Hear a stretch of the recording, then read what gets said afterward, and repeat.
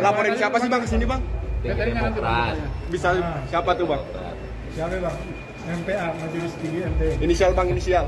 Inisial bang. Iya. Inisialnya susah, masalahnya dipanggilnya juga begitu kan. SB versus SB. Tapi eh, sekalian aja sebelum saya masuk, eh, selamat pagi teman-teman. Eh, secara pribadi, bukan secara eh, institusi atau organisasi atau sebagai jabatan eh, di DPR, saya eh, ingin melaporkan seseorang petinggi Demokrat terkait tanggal eh, terkait apa yang diucapkan pada tanggal 25 Agustus bahwasannya saya ada di dalam ruangan itu.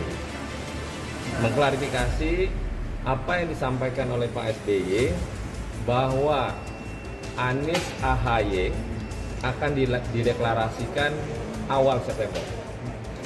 Omongan itu saya katakan nggak ada.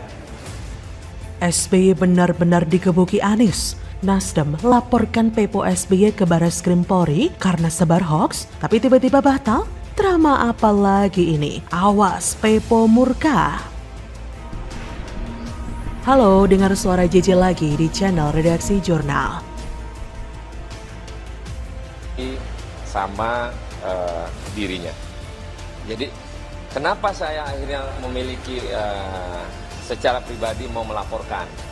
Tapi tadi saya di jalan menelepon ketua umum bahwa saya akan melakukan pelaporan. Tapi Pak Surya memerintahkan kepada saya untuk tidak boleh melaporkan yang bersangkutan. Jadi saya ini sebenarnya udah siap, udah melaporkan. Tapi tadi perintah ketua umum untuk tidak boleh melaporkan yang bersangkutan. Kebetulan tadi Pak Anies juga mewhatsapp saya untuk meminta juga yang sama. Pak Anies pengen fokus ke depan ini dalam rangkaian pemenangan, dalam strategi pemenangan eh, Capres 2024. Dan apa yang tadi disampaikan Ketua Umum tentu sudah dianggap selesai. Ketua Umum memaafkan meskipun tidak melupakan. Dan tadi menyebut persoalan etika, moral. Saya kira ini yang harus dipegang teguh baik oleh pimpinan-pimpinan partai politik maupun oleh kandidat-kandidat baik itu calon presiden maupun wakil presiden. ada yang yang kedua ada yang politis ya. Yang substantif itu tentu karena memang Nasdem melihat uh, bahwa Pak SBY mungkin dianggap sangat keterlaluan memberikan informasi bahwa seakan-akan Pak Anies Baswedan telah menginformasikan akan ada deklarasi di awal September dan bagi Nasdem mungkin itu dianggap uh, tidak valid dan mungkin dianggap tidak benar ya. Yang kedua tentu ada alasan-alasan yang politis Mas ya karena apa pun judulnya serangan-serangan politisi-politisi Demokrat ke Nasdem dan PKS ini kan cukup sadis ya disebut sebagai pengkhianat, musang berbulu domba dan seterusnya dan seterusnya. Hal-hal politik yang semacam ini sepertinya membuat sejumlah kader-kader Nasdem juga pastinya mendidih gitu ya karena merasa dituduh, merasa disudutkan. Dan dalam banyak hal kalau itu tidak dilaporkan ke polisi misalnya mungkin khawatirnya publik itu seakan-akan mengkonfirmasi bahwa Pak Anies itu adalah salah satu pemimpin calon presiden yang tidak menepati janji politiknya. Partai Nasdem bakal melaporkan Ketua Majelis Tinggi Partai Demokrat Susilo Bambang Yudhoyono ke Baris Krim Polri Senin 4 September. Nasdem melaporkan SBY karena alasan melakukan hoax. Adapun pelaporan akan dilakukan oleh Bendahara Umum DPP Partai Nasdem, Ahmad Sahroni, di Baris Krim Polri, Jalan Trunojoyo nomor 3, Kecamatan Kebayoran Baru, Jakarta Selatan, pukul 9 pagi. Kata Ahmad Ali, benar SBY akan dilaporkan. Ali menjawab pertanyaan soal rencana Nasdem melaporkan SBY ke Baris Krim. Tak hanya SBY, Ali menyampaikan pihaknya juga akan melaporkan sejumlah pengurus DPP Demokrat. Akan tetapi, ternyata laporan itu tiba-tiba dibatalkan. Drama apa lagi ini? Ahmad Saroni mengungkapkan alasan batal melaporkan jajaran petinggi Demokrat dan SBY ke Baris Krim Polri. Saroni mengatakan Nasdem batal melaporkan SBY dan elit Demokrat karena diminta secara langsung oleh Ketum Nasdem Surya Paloh dan Baca Pres Anies Baswedan. Kata Sahroni, Tadi saya di jalan menelepon ketum, tapi Pak Soya memerintahkan kepada saya untuk tidak boleh melaporkan yang bersangkutan. Jadi saya ini sebenarnya sudah siap melaporkan, tapi tadi perintah ketum untuk tidak boleh melaporkan. Kebetulan tadi Pak Anies juga WA untuk meminta juga hal yang sama. Pak Anies pengen fokus ke depan dalam rangka pemenangan strategi Pilpres 2024. Halah, masa? Ya mungkin bagi yang awam dengan manuver-manuver Ya mungkin bagi yang awam dengan manuver-manuver politisi sih akan percaya-percaya saja. Tapi sayangnya saya sama sekali nggak percaya. Ada bau-bau ikan asin tercium dalam peristiwa ini. Jadi begini, kalau Sahroni mau melaporkan SBY ke Baris Krim atas dugaan membuat dan menyebarkan berita bohong atau hoax, bukankah seharusnya dibicarakan dulu dengan ketum, waketum, dan sekjen partai? Gak mungkin dong Sahroni ini melakukan aksi solo. Masalahnya, yang menurut Sahroni hoax bukanlah hoax yang menyangkut pribadi, melainkan menyangkut Partai Nasdem. Jadi sudah seharusnya Sahroni membicarakannya dulu ke petinggi partai. Tapi kok ini langsung datang pagi-pagi buta ke Baris Krim, lalu nggak berapa lama muncul berita yang bertajuk Anies dan Surya Paloh meminta Sahroni untuk tidak melaporkan SBY. Wah, wah, wah, wah. Anies dan Surya Paloh sungguh penyabar, penyayang, bijaksana, dan sangat bermurah hati. Setidaknya itu yang ingin dicitrakan melalui media, gitu kan? Tapi sudahlah, ini bau amis, nggak masuk akal. Kalau mau meminta atau menghimbau Sahroni untuk tidak melaporkan SBY, kenapa tidak dari awal di saat Sahroni membicarakan masalah ini dengan petinggi partai? Tidak mungkin tidak dibicarakan dulu. Apalagi kabar ini mencuat mulai dari hari Minggu tanggal 3 September. Lalu kemudian pelaporan dilaksanakan pada Seninnya 4 Oktober. Hmm, apakah ini hanya senario belaka? Supaya yaitu tadi, mau dibilang baik, penyabar, penyayang, rajin menabung, bermurah hati, dan pujian-pujian lainnya. Halah, sungguh terlalu.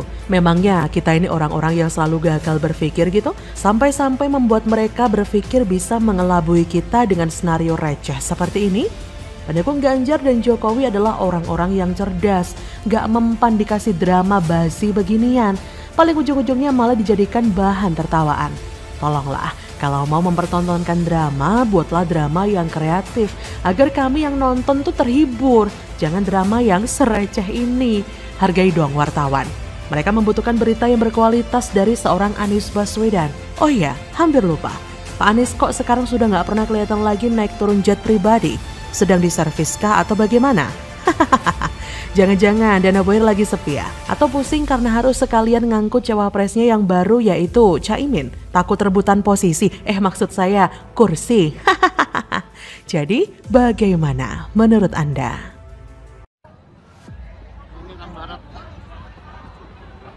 terlalu kredit kalau cuma satu pintu terlalu kredit ini kalau cuma satu pintu nggak akan nampung Tolak JIS jadi markas macan kemayoran, The Jackmania sebut JIS nggak layak jadi kandang Persija, baru sekali jajal langsung ambruk, Anies malah salahkan dan bahayakan supporter, kopla. karena Jakmania lah kelompok yang paling teriak lama minta dibikinin stadion. Nah sekarang tiba-tiba Pak Anies bangunin stadion. Tapi, gitu, tapi ketika kita launching gitu, di situlah kita menemukan beberapa hal yang ternyata belum dilengkapin. Misalnya gitu, akses masuk. Kita nih penonton bola yang paling ngerasain. Pada saat launching, akses masuk yang dibuka hanya ram barat. Padahal ada ram timur. Kita nggak tahu kenapa ram timur waktu itu nggak dibuka. Halo, selamat datang di channel Redaksi Jurnal bersama JJ. Sejumlah pendukung klub sepak bola Persija Jakarta atau The Jackmania masih meragukan kelayakan Jakarta International Stadium yang diwacanakan menjadi kandang Persija dalam mengarungi kompetisi BRI Liga 1 2023-2024. Salah seorang pendukung Persija yang ditemui kompas.com Minggu 9 Juli 2023 bernama Damar Widiatmojo menilai masih ada yang perlu diperbaiki di JIS. Salah satunya akses masuk supporter, karena jika tak diperbaiki, itu akan memakan banyak waktu untuk supporter masuk. Damar khawatir, minimnya akses keluar masuk di sana akan membuat supporter kesulitan. Terlebih kapasitas di stadion tersebut terbilang besar dan mampu menampung puluhan ribu orang. Belum lagi jika terjadi hal-hal yang tidak diinginkan seperti tragedi Kanjuruan misalnya. Ditambah menurut Damar, fasilitas di dalam stadion juga masih kurang oke dari segi pagar yang begitu rapuh. Beda dibandingkan dengan stadion utama Gelora Bung Karno atau GBK. Selain Damar, salah satu The Jackmania asal kota Bekasi, Denny Putra, hampir sama dengan Damar. Ia menilai bahwa stadion itu masih perlu sedikit direnovasi. Menurutnya, renovasi patut dilakukan pada sarana dan prasarana yang mendukung stadion tersebut. Salah satunya adalah akses pintu masuk dan keluar. Bahkan dari salah satu politisi, Arya Sinulinga mengunggah bukti bahwa pintu masuk Stadion Jis harus direnovasi. Bahkan dalam video yang ia unggah di akun Twitter pribadinya, Arya Sinulinga memperlihatkan para supporter Jakmania sangat kesulitan ketika mau masuk stadion, bahkan sampai desak-desakan. Dalam narasi cuitannya, ia mengungkapkan bahwa ia mendapat video itu dari salah satu pendiri supporter Persija Jakarta, The Jackmania. Dalam narasi cuitannya, ia mengungkapkan bahwa ia mendapatkan video itu dari salah satu pendiri supporter Persija Jakarta, The Jackmania, dan juga sebagai ex-ketua umum The Jackmania, Ferry Indra Sarif. Jadi memang JIS ini perlu direnovasi. Akses masuk yang hanya satu pintu, akses parkir yang belum ada, menjadikan JIS belum layak dijadikan markas Persija Jakarta. Bahkan, The Jackmania sendiri pun mengakuinya. Sebagai informasi, PJ Gubernur DKI Jakarta Heru Budi Hartono sebelumnya memberi sinyal bakal menjadikan JIS sebagai kandang klub sepak bola Persija. Kemungkinan itu dibahas Heru dalam pertemuan terbatas dengan manajemen Persija Jumat 7 Juli di Balai Kota Jakarta. Meski begitu, Heru tidak secara tegas memberikan lampu hijau kepada tim berjuluk Macan Kemayoran untuk menjadikan J sebagai kandang. Heru hanya mengatakan jika pemerintah Provinsi Jakarta siap mendukung dan mendorong kemajuan Persija. Dari sini kita bisa melihat betapa lucunya Anies yang katanya cerdas, berwawasan, pintar, yang menurut Dr. Tifa sangat sulit dipahami rakyat yang rata-rata ber-IQ 78. Tapi membangun satu stadion saja masih meninggalkan banyak masalah. Pokoknya asal jadi, bisa dipamerkan dan dibanggakan. Betapa malunya Anies saat ini di mana JIS mau dipakai tapi tidak layak sehingga lagi-lagi pemerintah pusat harus turun tangan, renovasi lagi, sesuai standar pula. Artinya selama ini masih belum sesuai standar ya. Terlebih Jackmania sendiri mengakui keburukan dan bahayanya JIS jika digunakan untuk markas Persija Jakarta, yang mana bukan hanya membahayakan para pemain, tapi juga supporternya. Dari sinilah Anies akan mau membuktikan pada dunia bahwa kualitas dirinya masih tidak sesuai standar yang layak. Ya iyalah, sumber resapan aja udah bisa jadi bukti tuh. Melakukan apa pun jarang tuntas dan akhirnya harus diselesaikan pemerintah pusat menjijikkan. Gitu kok bisa kerja. Bagaimana menurut Anda?